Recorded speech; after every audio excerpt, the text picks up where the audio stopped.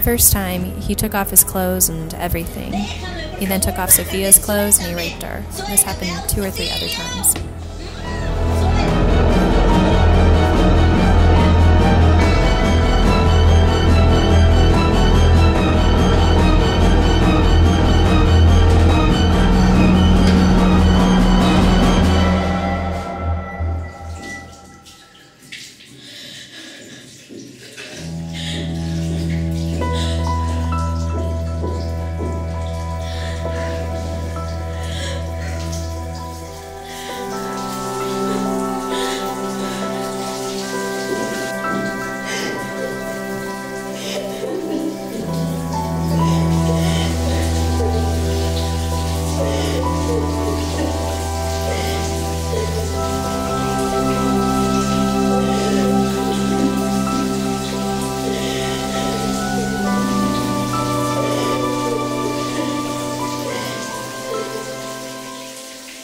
Remember when she first came to our organization asking for help, and her grandmother and her father were with her.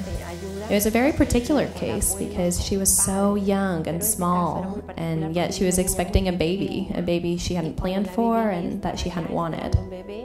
And she understood that it was a situation of violence, and that at the end of it all, it was good what her family had decided.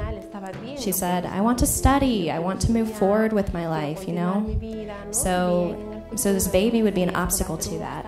I'm okay with what my parents say to do, which is to give the baby up for adoption, or we can take the baby to an orphanage to be adopted later on. That's what she said to me. I felt like I had hit rock bottom. I didn't want to live anymore. We work hard to personalize our services according to the unique circumstances of each case. In order to do this, we offer a psychologist, a pastor to work with the survivor and with the family, and we also seek to have a lawyer commit to the case to ensure that it will be properly processed by the justice system so that we can obtain a fair sentence. Paz Esperanza is an organization where I could receive support from lawyers and psychologists. The picture I have of Sofia in my head is her sitting on a rock feeding her baby.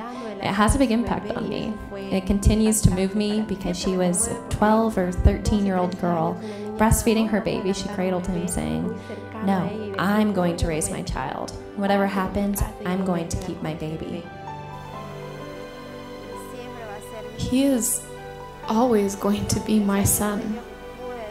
I came to this conclusion that he is my baby, and it wasn't his fault what has happened.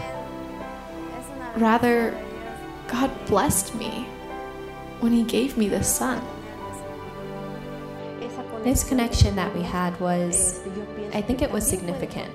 It helped her a lot because of the support systems that she had found in her family and in our organization.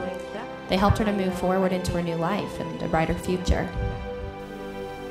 They made they made me feel like I mattered.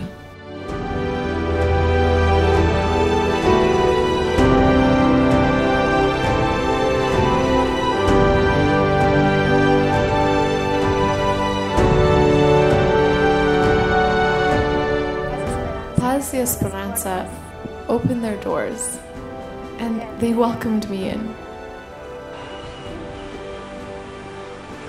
I made friends, and these friendships made me smile again, and they helped me get back on my feet.